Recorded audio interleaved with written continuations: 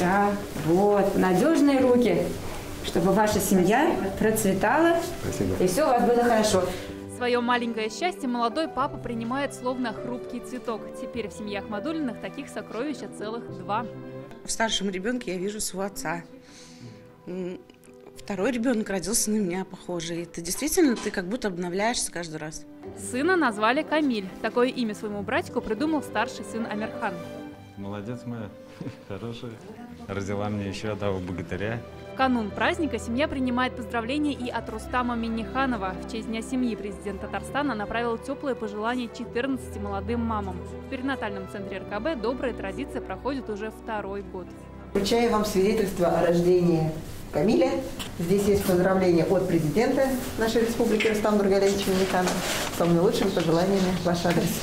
Работу главного родильного центра Татарстана коронавирус не останавливал. В период самоизоляции на свет здесь появились почти 3,5 тысячи малышей.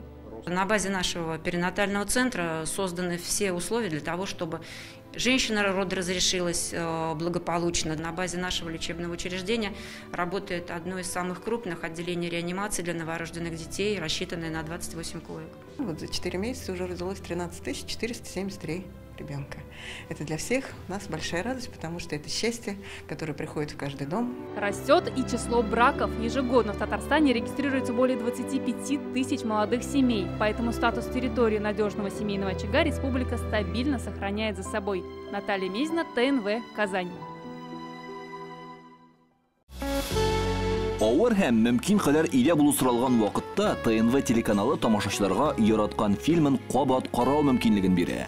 Хәзер «Синең күзләр» фильмы ТНВ ру сайтында бар. Бу көннәрдә өйдә булыйк. Все новости дня, выпуски программы «Новости Татарстана», программы и фильмы на сайте tnv.ru и на YouTube-канале ТНВ. Подписывайтесь.